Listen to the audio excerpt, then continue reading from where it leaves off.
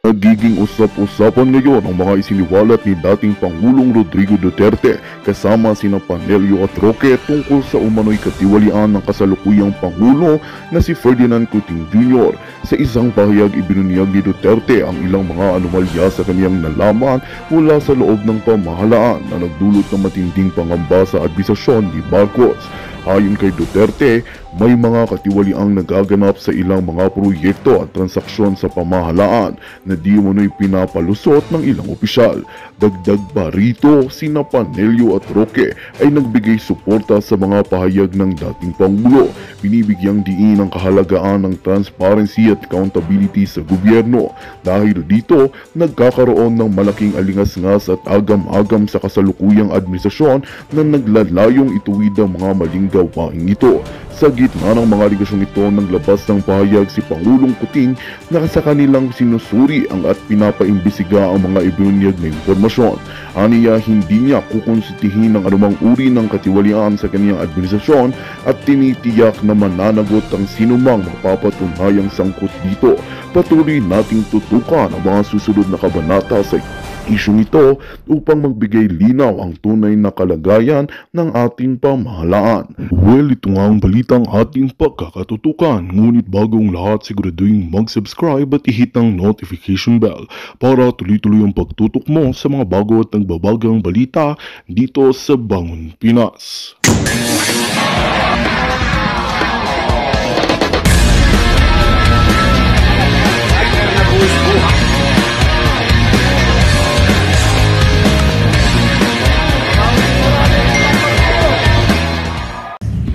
Magandang araw Davao at ah, maraming maraming salamat po dito lalo na kay ah, Mayor Sebastian Duterte na tayo po ay naimbitahan dito ngayon attorney. And ako excited dahil marami tayong pag-uusapan. Ang ating special guest ay walang iba kundi ang ating pong pinakamamahal na Pangulo ng ating bansa, ang ating kinikilalang Pangulo ng bansa, Mayor Rodrigo Roa Duterte. Yes! Uh, good evening. Uh, welcome to Davao, Texia and Mark. And uh, uh, to my warm uh, greetings to all of you uh, mm, nakikinig ngayon. Kung meron, sana. I'm sure meron, sir. Uh, exciting topic natin and it's timely, sir, kasi kakatapos lang ng State of the Nation address ng ating Pangulo, si Ferdinand Marcos Jr. At uh, may mga observations tayo and we'd really like to hear what your observations are as well.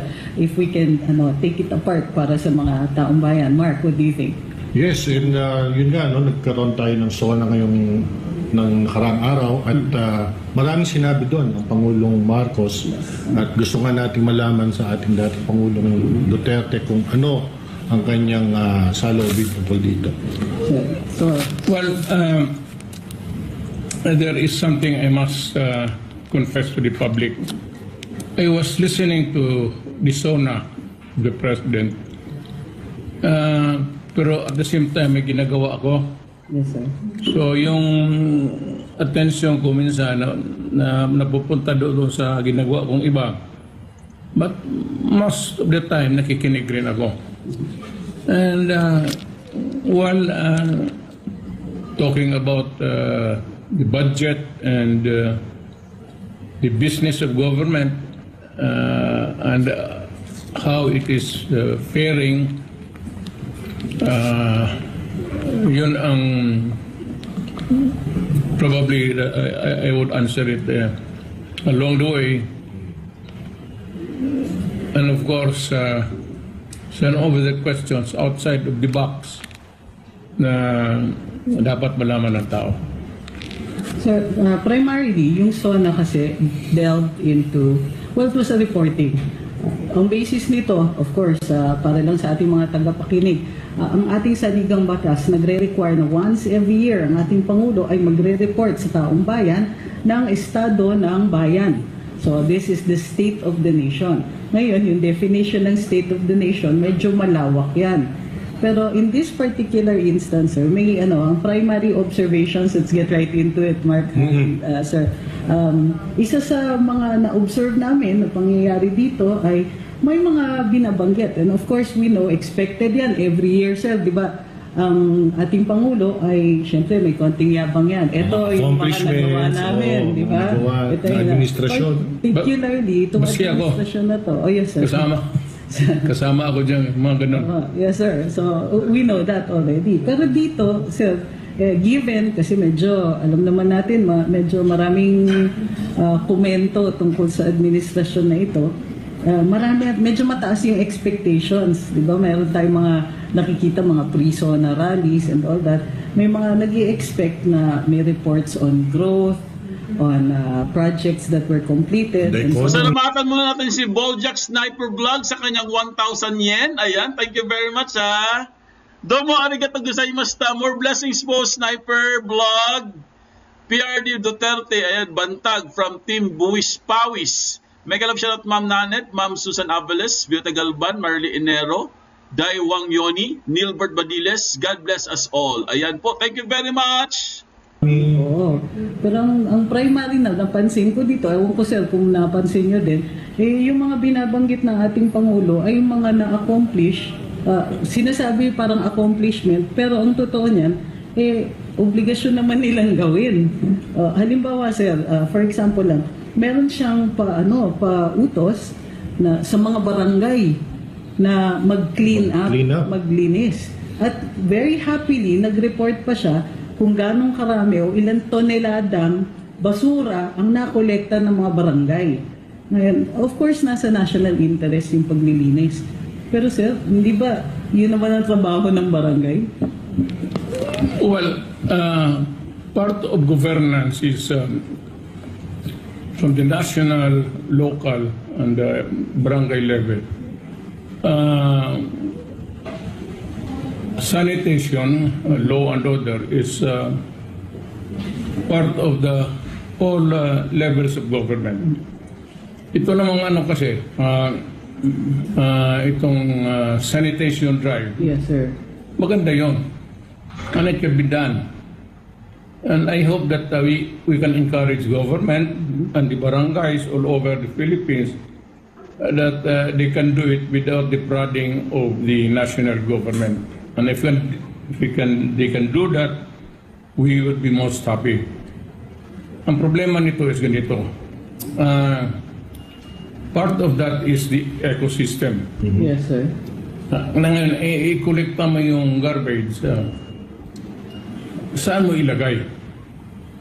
Kasi you just cannot dispose of the garbage system in one lot there.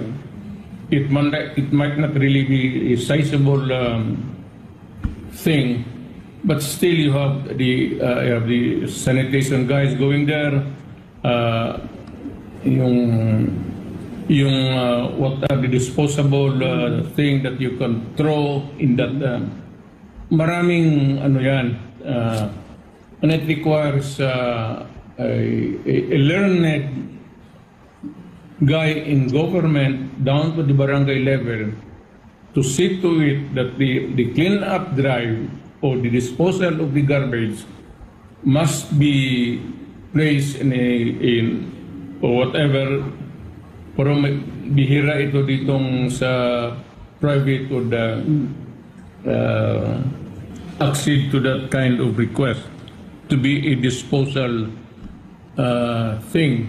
So it must be government. The only thing, uh, Rixie, is that wala tayong uniform policy dyan. Na merong designated uh, sanitation depot na talagang safe and you have to sort out the toxic, uh, the, the harmful um, uh, mga ano na hindi naman pwede Segregation. i- oh, so this has to be segregated and uh, disposed properly in another area. Sir, Wala yan. So, medyo... Wala, wala pa tayong national policy. meron. Actually, sir, meron tayong solid waste management law. Yeah. Dun sa ano pollution laws natin. Marami. Meron pa nga tayong ano eh, uh, quasi-judicial body sa loob ng DENR na nag, uh, nag-hear ng administrative cases dito, yung Pollution Control Board. Pero, sir, doesn't, ito nga, itong SONA, hindi ba inadvertently na i-expose nyo na hindi nga po na i-execute yung batas na ito. No, it's... uh, DNR ito, sir. you the the the, the office that uh, or uh, uh, that uh, fa- facility in government that you mentioned even during my time is not uh, is not there it has never been uh, there in most of the In the, in the, Yeah. I suppose regions. we do not have the personnel and uh, government has not really planned this uh, course of action to deal with this problem simply because walang tao. And uh, hindi na Hindi ba ito devolution, part of the devolution sa local government? Yes. Yes. The problem is the funding also. Sir, given kasi na may mandanas ruling at mas malaki na yung share ng mga lo- local government pagdating sa well, sa sa national taxation, hindi ba dapat sinasama na yan ng LGUs? And if if hindi nila sinasama, hindi ba trabaho ng DILG to ensure na yung mga LGUs will be executing that? Yes. Uh, foremost would be the DNR. Yes, sir. DNR national, DNR local. Yes. Uh, yun ang mga driver dyan sa mga kinarya na yan.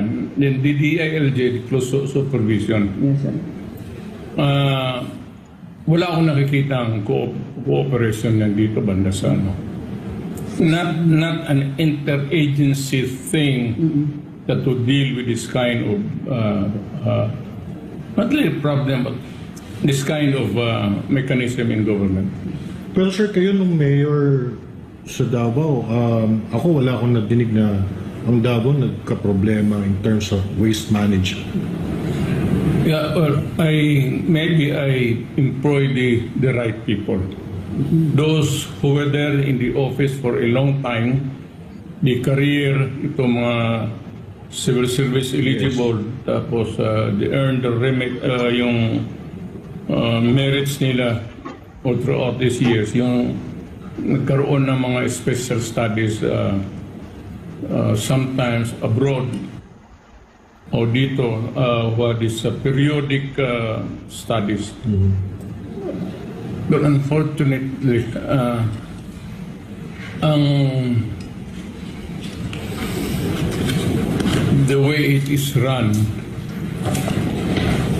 funding and all, is not there to sustain it.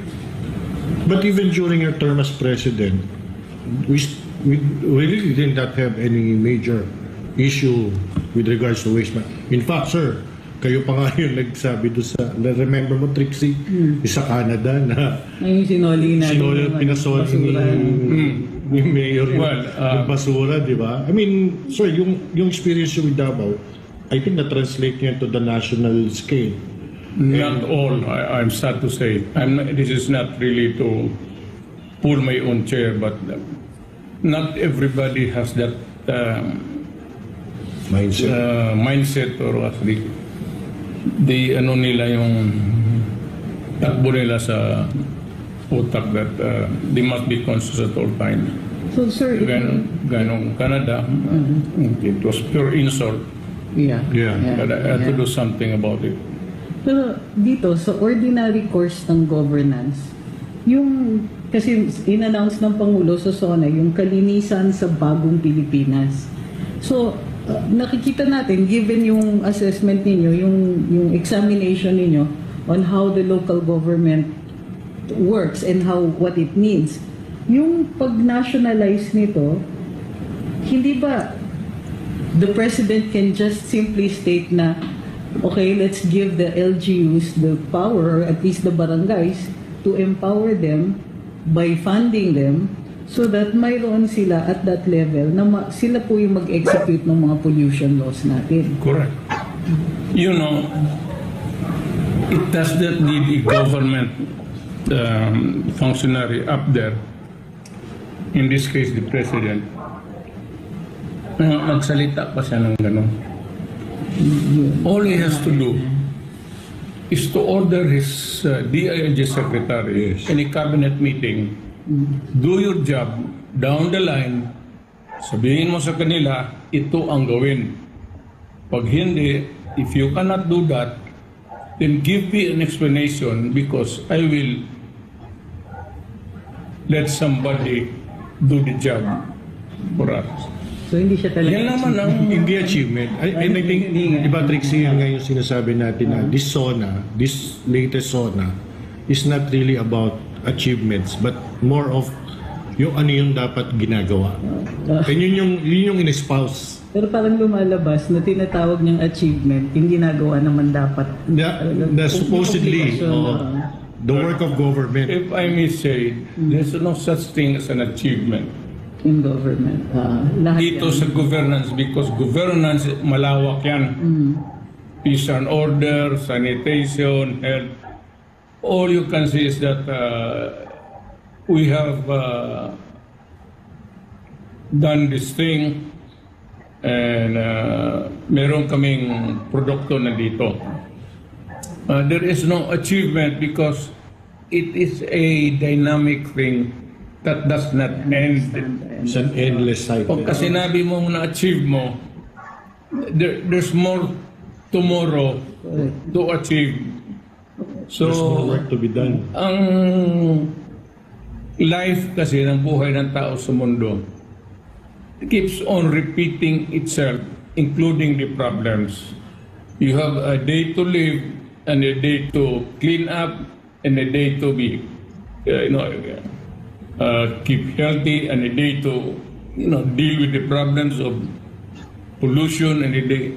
It is a repeating thing uh, which you cannot use the word we have achieved. You can only do that when you die and you look back and say to yourself, na I have achieved this thing. Or other people would say that during his lifetime, he has achieved this one. So hindi po ito sabihin niyang achieve, achieve, achieve sa, sa gobyerno. Kasi araw-araw yan, you have to achieve. So Yes. ilang achievements yan. So, you, so, you, you have done your work for the day. So that's it. Period. Sir, sir, parang it's like washing dishes. Every day kakain ka, maghugas ka ng pinggan pagkatapos Mm. nun. So pati itong pagkolekta ng basura, diba? hindi ba kailangan pa bang sabihin ng Pangulo yan na oh, Inutusan yung ko." basura. Makolekta tayo ng 10 tonelada ng basura because this is already part of the the obligations of the got it. In addition to which, sir, sinabi pa ng Pangulo, let me jump lang to another one. Sabi niya during the SONA, ipare-review daw niya yung EPIRA. Epira law, oo. Dahil in-acknowledge niya yung mga issues sa power consumption, sa Mahal kasi- electricity. Without acknowledging, sir, na mahal ang kuryente, sinabi niya na bina, binabalikan at binubusisi ang EPIRA. Pero, uh, just uh, as a matter of fact, alam ko na ginawang um, priority legislation yung pag-review ng EPIRA. And na-prioritize sa 2023 pa. So ngayon, bahagi din ba po ito? Continuing ba ito? Hindi ba, pagdating naman sa batas, ito, you have to get it passed. You review it, and if it needs to be changed, ipapasa natin yung, ba- yung amendments o kayong bagong batas. Actually, uh, ito yung sinasabing wala pang natapos. Because uh, matagal na yung Peter Law. Uh, hindi, hindi pa nga natapos yan. We have not been full, it has been fully implemented. Yes. Tapos mag you come up with a new idea again. Just, uh, that's, that is uh, what, uh, hindi lang kay Marcos, in fairness to Sa akin, yan yung a problem that keeps bugging us every day and we keep on coming up with new ideas how to solve the problem. Or if it, eh, that, that ideas are, are uh, converted into some form of legislation or ordinance, still the problem remains. So what what needs to be done is really just do it. Uh, hindi na, huwag mo nang sabihin kung ano ang gusto mong gawin. Just do it without announcing it. Ganun na lang, para uh, unarmed. Sa mga pangyayaring ngayong araw, ang pag-uulat nito ay nagtatapos na. Naway nagbigay ito ng karagdagang kaalaman at pag-udnawa sa mga pangyayari sa ating lipunan. Patuloy tayong maging bahagi at mapanuri sa mga susunod na kaganapan. Maraming salamat sa inyong pagkikinig at pagtangkilik sa aming balita. Hanggang sa susunod na pagkakataon, ito ang Bangon Pinas, nagbabalita para sa inyo.